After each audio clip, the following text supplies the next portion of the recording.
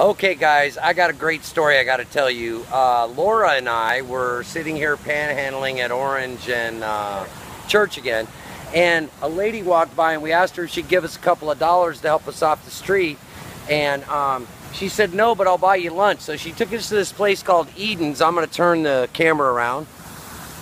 On that Eden's Fresh Company place right there. And um, Laura, she hooked us up, didn't she? She was very generous. She uh, bought large wraps, drinks, and chips. So we are like eating like kings. This was better than, uh, well, it probably cost her 10 to $12. So if you know Dawn at Baker Barrios, which is right here in the Chase building, please go tell her, oh my gosh, thank you. Because we were both starved, were we not? Absolutely. And we were not going to be able to eat till 5 p.m. So Dawn, thank you very, very much. You're a wonderful lady. And um, you know, random acts of kindness of that, like that have not happened to me since I've been on the street July 4th.